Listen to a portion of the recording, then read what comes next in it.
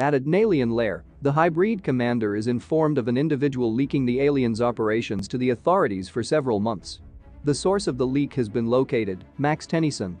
The commander orders that Max be eliminated to prevent further interference with their plans.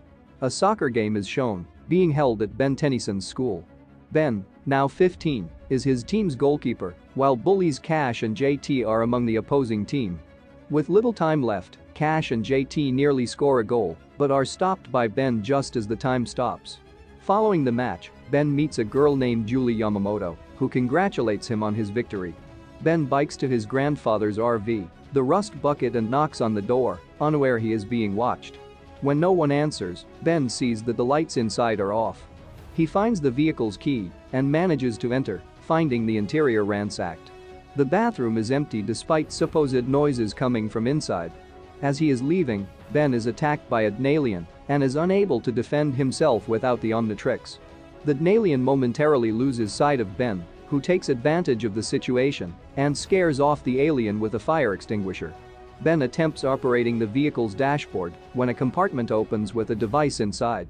The device contains a pre-recorded holographic message from Max, who informs Ben of renewed alien activity on Earth, that he is investigating, and that the Omnitrix is safe with Ben. Ben does not notice the appearance of an alien on the recording as it ends. Ben rushes home to see if Max was serious, the Omnitrix is indeed there in his room inside a box. Ben is confused of Max's motives. Ben leaves to see Gwen at her karate class. Ben tells her he needs her advice on something. He shows her the recording, believing Max is telling him to begin reusing the Omnitrix, but Gwen disagrees, remembering that it was always Ben's choice as to whether or not he wanted to use it. Ben says how he used to feel special wearing the watch, but Gwen tells Ben he was the one that was special.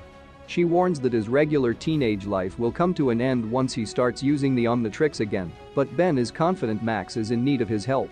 The man watching Ben at the rust bucket reappears asking for the Omnitrix. Ben refuses and attempts to run, but the man pursues them and reveals himself to in fact be an alien known as Magister Labrid. He shoots Ben when the latter attempts to run, Gwen harnesses her greatly enhanced magical prowess to restrain Labrid. They interrogate him and learn he is a plumber like Max. He reports that Max went missing in the middle of a case. The Magister suddenly realizes who he's talking to and apologizes for mistaking Ben for a random thieving child. He agrees to help them find Max. Ben then decides to wear the Omnitrix.